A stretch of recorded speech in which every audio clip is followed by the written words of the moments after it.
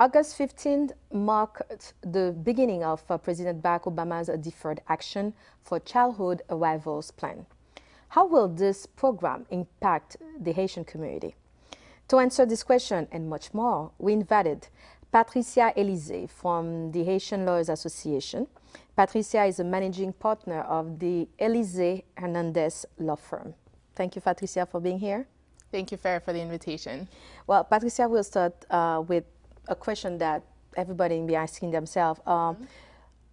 What's the difference uh, between the DREAM Act and the Deferred Action for, uh, for Childhood Arrivals? Okay. Well, the DREAM Act, first of all, hasn't passed yet. It's still stuck in Congress. And the DREAM Act, if it ever passes, and hopefully it will, what it will do for young immigrants currently in the U.S. is that it'll give them a path to citizenship, which means first they'll be allowed to apply for their green cards and then eventually apply to become U.S. citizens. On the other hand, deferred action for childhood um, arrivals is not an immigration status at all. It's actually an immigration benefit or a privilege that's given to qualified young immigrants by DHS or the Department of Homeland Security. Now, the intent of the administration in coming up with deferred action for young immigrants is to shield these young immigrants who came in when they were kids, who were brought to the U.S illegally by their parents when they were children or toddlers to shield them from being deported or the fear of being deported. And so uh, we see in the Haitian community, it seems like there's uh, a misconception mm -hmm. of uh, that the, the, the, deferred action for childhood arrivals that they call also DACA yes. is only for Spanish but not Haitian. And I heard that on, on radio. No, that's definitely wrong. Um, Deferred action is actually for all young immigrants. So you, don't have to be from any specific country. So the qualifications actually to apply for deferred action, um, an applicant will have to send a series of documents to USCIS, which shows that they're currently under the age of 31 and that they're currently in the United States illegally, which means they have no valid immigration status. So they'll have to prove that they either entered into the US with no immigration status at all, or if they entered with, for example, a tourist visa, that that status has expired. They also have to prove that they entered the US before reaching the age of 16 and that they've lived here continuously since 2007. So there's no country-specific requirements. They also have to show that there are no criminal, serious criminal issues in their past and that they meet the educational requirement, being they're currently in high school, or they graduate from high school or they have their GED, or they're a member of the armed forces or the Coast Guard. So if you meet those qualifications, it doesn't really matter where you're from, you will qualify for deferred action. And uh, remember, uh, two years ago, uh, yes. we uh, Haitian have been granted for uh, for the TPS, the temporary protected status, mm -hmm. following the aftermath of the earthquake in 2010. Yes. And um, as a lawyer, and you are you are really involved in the in the community, in the Haitian community. Um, have you seen many Haitians apply for the TPS? Unfortunately, no. A lot of Haitians who qualified for TPS actually did not take advantage and they can no longer apply. TPS, unlike deferred action, they're similar in the sense that if someone gets TPS or someone gets deferred action, they'll be given temporary protection from being deported, and they'll also have work authorization. However, while deferred action focuses on young immigrants, TPS focuses on immigrants that are in the U.S. who cannot go back to their home country because of the current state of their home country. For example, if the home country has a civil war going on or a natural disaster like we had in Haiti in 2010, which is why we got TPS. Now, to qualify for TPS, there's a period of time which you have to send in your application. And for Haitians, the deadline was November 15th of last year. And why they failed to apply, and when we know that there's the, the needs were, were there, mm -hmm. why is that? I think it's mostly miseducation and a lot of them seem to be scared to send their information to USCIS to begin with.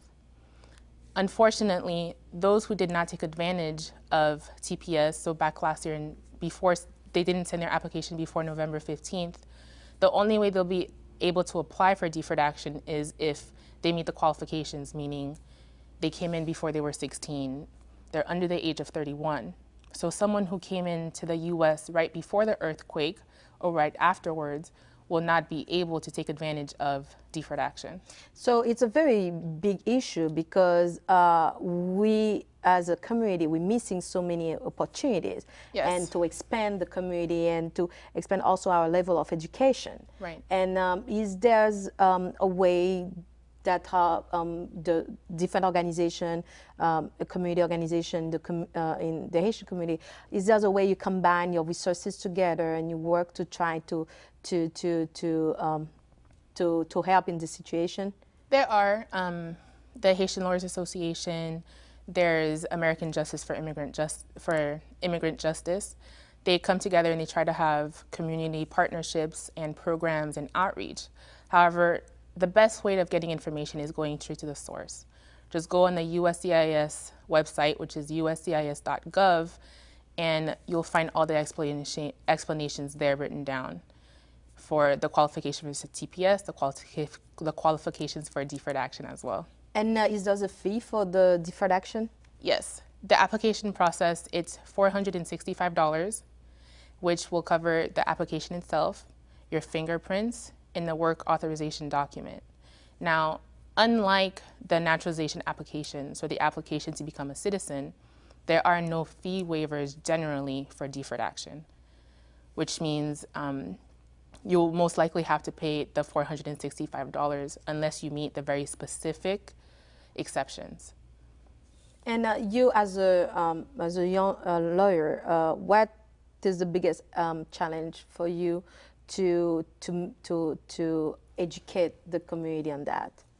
Well, first, just getting them to listen, to be honest. Um, a lot of them tend to listen to their peers, which, who are also misinformed.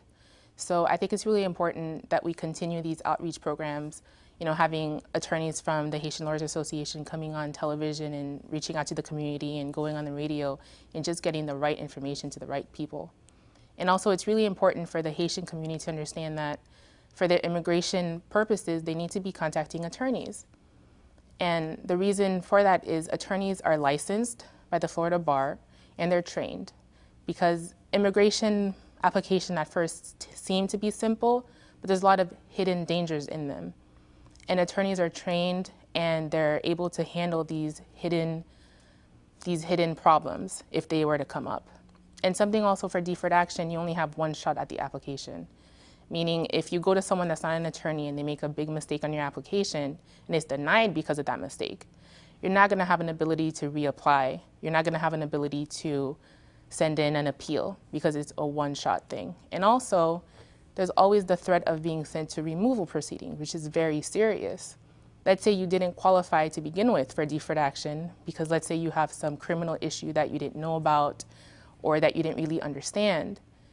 And because of that issue, you get sent to removal proceedings. If you had an attorney that was helping you, they'd be able to see that even before it became an issue in the first place. And uh, is it true that they resumed the, the deportation in, for Haitians? Unfortunately, yes, they have resumed deportations to Haiti. It's not everyone, and we don't really have a lot of detailed information concerning who exactly they're sending back. But yes, they did start deporting Haitians back to Haiti earlier this year. And uh, what's that? We don't know. okay. Unfortunately, we don't know. And uh, but this is a very uh, important issue because very important and very serious. Because they, they, they, they were supposed to stop all the, the, the, the deportation. Yes, yes. And I know that Marlene Bastien from FANM recently, earlier this year, she went to Haiti and she spoke to people who were deported um, back to Haiti from Miami and other cities in the States. And it's a very serious problem. They're sending people who are not even criminals back to Haiti, and it's it's it's a big issue right now. So, um, so if I understand, even uh, with the TPS, um, we uh, the uh, we we we have a very serious uh, um, immigration challenge in the Haitian community right now. Yes, which is why it's really important for people to educate themselves on immigration issues and to take advantage of these immigration benefits that are made available to them, like deferred action.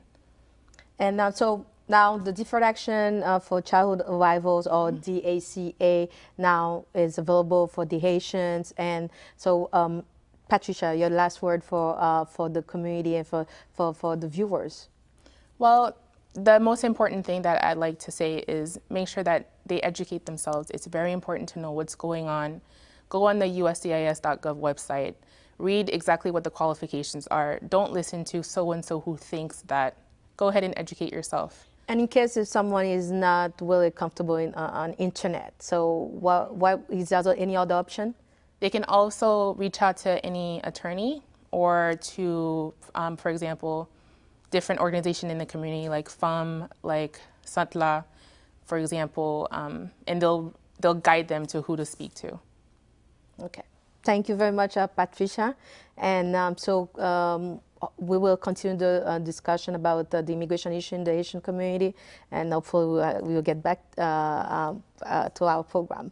Thank you.